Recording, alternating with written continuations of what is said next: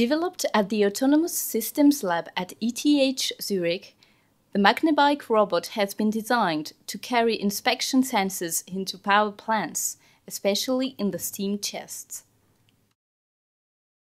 Regarding locomotion, the robot has to be able to maneuver in narrow locations, but also to climb over different combinations of obstacles.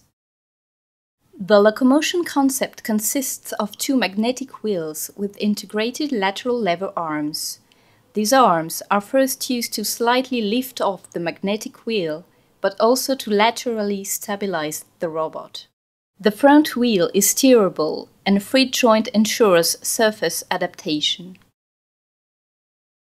The robot has a very high mobility and is able to pass over complex combinations of step obstacles with almost any inclination regarding gravity.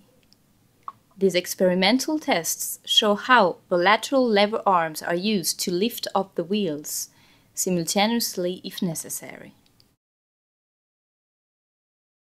In this experiment, the robot drives in the steam chest environment for which it has been designed. The MagneBike robot can follow circumferential trajectories inside pipe structures and automatically adapts to the surface curvature. The MagneBike requires only limited space to maneuver as it can turn on spot around the rear wheel. The top right movie shows how lateral lever arms are used to stabilize the robot when it drives sideways.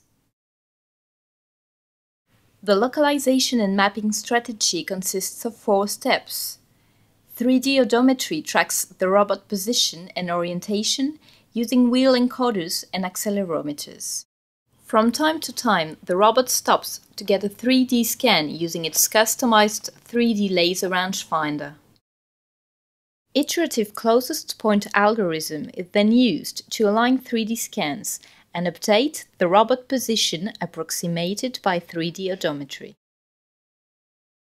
Finally, local maps are combined to reconstruct a global map. This movie shows the accumulation of 59 scans taken in the steam chest environment. 3D maps can then be used for inspection mission planning. On the cut view of the final 3D map, the dots indicate the locations where 3D scans were taken. This video has presented the high mobility and localization capabilities of the compact-sized and lightweight MagneBike robot. The robot is currently under its industrialization phase after its successful implementation and evaluation. The authors would like to thank the Swiss CTI as well as Alstom Power Services for supporting this project.